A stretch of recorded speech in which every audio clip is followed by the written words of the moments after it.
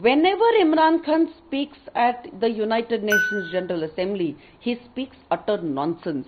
And it was a very correct step taken by the uh, by uh, the Indian representative that he got up from there the moment he uh, Imran Khan started the Kashmir rant.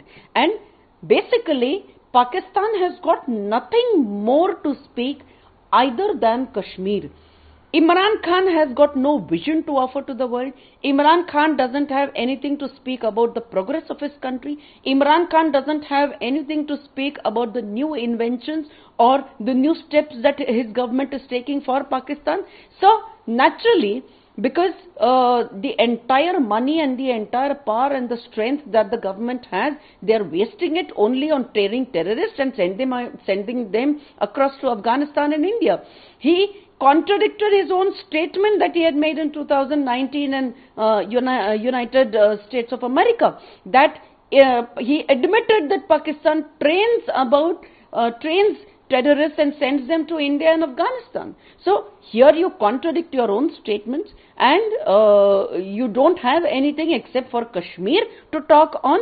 This is absolutely a kind of nonsense that Pakistan is speaking. The world knows what Pakistan is now and Pakistan does not have a concrete base and that is why the world should take note of this and it is very necessary that the United Nations takes very strong steps. Imran Khan जब भी बोलते हैं United Nations general assembly में तब वो blunders create करते हैं और अटर नॉनसेंस और पूरी तरह से झूठ ये बोलना ये पाकिस्तान के हर नेता की और प्राइम मिनिस्टर की फितरत है।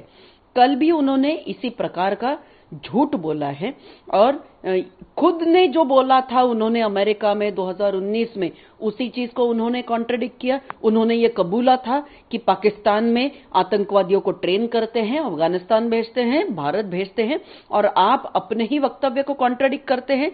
तो पाकिस्तान के पास सिवाय कश्मीर के कोई और विषय है ही नहीं। पाकिस्तान के पास दुनिया को ऑफ़र करने के लिए कोई विजन नहीं है। पाकिस्तान ये कैसे प्रगति कर रहा है? पाकिस्तान किस किस क्षेत्र में प्रगति कर रहा है ये सब बताने के लिए है ही नहीं क्योंकि पाकिस्तान प्रगति कर, करता ही नहीं है। पाकिस्तान पूरी जो अपनी आ, अपना धन है अपनी शक्ति है वो सिर्फ़ आतंकवादियों को ट्रेनिंग देने के लिए ही खर्चा करता है। तो पाकिस्तान से हम और क्या एक्सपेक्ट कर सकते हैं? एकदम सही कदम उठाया भारत के राजदूत ने कि वहाँ से वो उठ पड़े जैसे ही इमरान खान ने बोलना शुरू किया और कश्मीर के बारे में जैसे ही उन्होंने विषय को छेड़ा। कश्मीर के सिवा पाकिस्तान के पास कोई आइडेंटिटी ही नहीं है।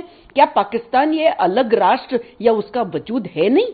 तो इस तरह से जो बचकानी बातें होती हैं, जो झूठ बातें होती हैं पाकिस्तान की, ये इन बातों को पूरी दुनिया समझ चुकी है और पूरी दुनिया को पता है कि पाकिस्तान ये झूठ के ऊपर बना हुआ, ये एक पूरा इनका षड्यंत्र होता है और सिर्फ़ आतंकवादियों को बनाना ये इनका काम है।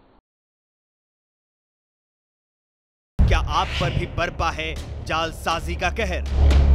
सपने टूटे आपके, न घर के, न घाट के।